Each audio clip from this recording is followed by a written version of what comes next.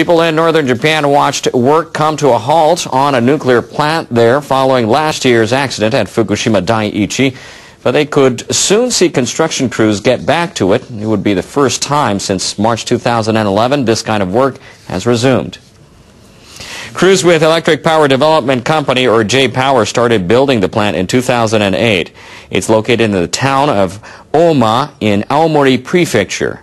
Engineers expected to start operating the facility in November 2014, but no work has gone on for the past year and a half. J-Power executives decided earlier this month to resume construction after government leaders approved Japan's new energy policy.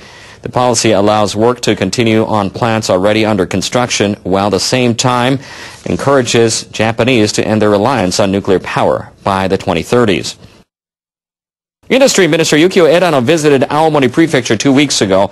He told the governor that the Oma plant could be completed. J-Power managers plan to inform residents and local municipalities of the decision next week. Two other nuclear plants were under construction before last year's disaster. No decision has been made on resuming those projects.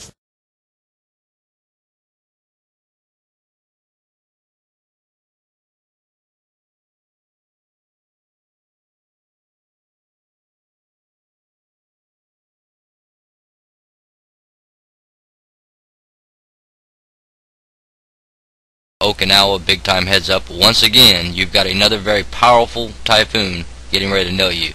It uh, was at, excuse me, headed directly to Taiwan, and uh, boom, all of a sudden it goes directly targeting Okinawa once again. So heads up Okinawa,